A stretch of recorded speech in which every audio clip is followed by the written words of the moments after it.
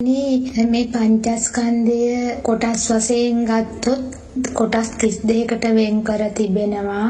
ඒ කොටස් මනාපයි අමනාපයි කියලා ගත්තොත් ඒ මැනීම තුලින් මෝහය, දේශය, රාගය හට අරගෙන එතනම ගමන මග ප්‍රමාද වෙනවා නේද? බුදු පියාණනි පහදා දෙන්න. ඔබ මේක පංචස්කන්ධය හැටියටත් බුදුහාමුදුරුවෝ බෙදුවා. බෙදලා බලන්න ඉගන්නවා. ඒකයි මේක විභජනය කළා.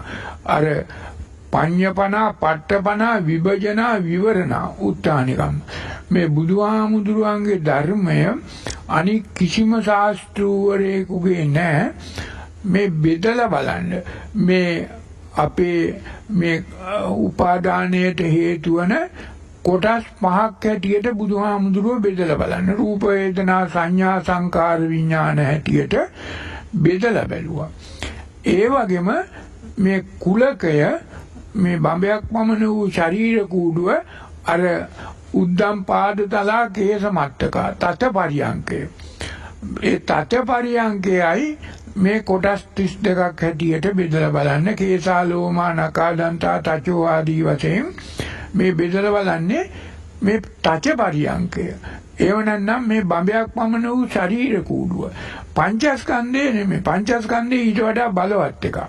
ඉතින් ඒක නිසා බුදුහාමුදුරුවෝ ධාතු වශයෙන් ආපෝ ධාතු, ආයෝ ධාතු, තේජෝ ධාතු, අවකාශ ධාතු, විඥාන ධාතු හැටියට ධාතු වශයෙන් භූත වශයෙන් මේ වගේ පටික්කුල මනසිකාර වශයෙන් ධාතු මනසිකාර වශයෙන් මේ වගේ හැම තැනකදීම බුදුහාමුදුරුව මේ මුළු බුද්ධ දේශනාවෙම මුළු විභංග ප්‍රකරණයම මුළු පටිසම්භිදා මග්ග ප්‍රකරණයම මුළු ප ဋ ාණ ප්‍රකරණයම තියෙන්නේ මේ බෙදලා බලන්න ඉගැන්නුවා භගවත මේ වත බග කළා භාග කළා බලන්න බෙදුවා.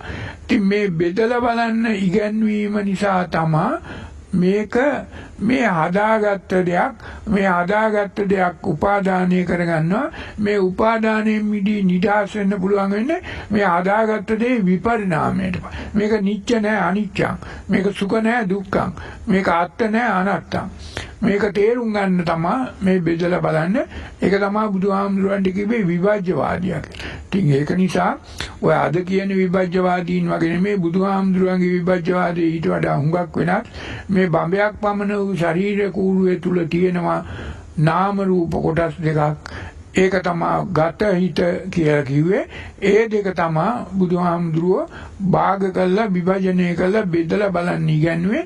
මේ බෙදලා බලන්න ඉගැන්නුවේ මේ උපාදානයෙන් මිදෙන්න මේ නිච්චසේ සුඛසේ අත්සේ පවත්න්න බෑ මේක විපරිණාමයටපත් වෙනවා මේ උපාදානයෙන් මිදී නිදහස් වෙන්න පහසු වෙන ආකාරයට තමයි මේ බෙදලා බලන්න බුදුහාමුදුරුවෝ ඉගන්වන්නේ. ඉතින් ඒක නිසා බුදුහාමුදුරුවන්ගේ ධර්මයේ තියෙන්නේ මේ බඹයක් පමණ වූ ශරීර කූඩුව තමයි ඔය බෙදලා බලලා විභජනය කරලා බෙදලා ඔක්කොම තියෙන්නේ වෙන මොකක්වත්ම නෙමෙයි. මේ පංචස් කන්ද කූඩුවම තමයි මේ පංචස්කන්ධයම තමයි රූප වේදනා සංඥා සංකාර විඥාන අජ්ජත්තික බහිද්ද හැටියට බෙදලා තියෙන්නේ. ඉතින් ඒක නිසා මේක තේරුම් ගන්න ඕනේ මේ බුදුහාමුදුරුව බෙදලා බැලුවේ මේ උපාදානයෙන් තණ්හාවෙන් නිත්‍යසේ සුඛසේ අත්සේ පාත්තන්න බෑ මේක අනිත්‍ය දුක්ඛම් විපරිණාම ධම්මං යථා භූත ඥාන දර්ශනයෙන් තේරුම් ගන්නට පුළුවන් වන ආකාරයට. හොඳයි එහෙනම්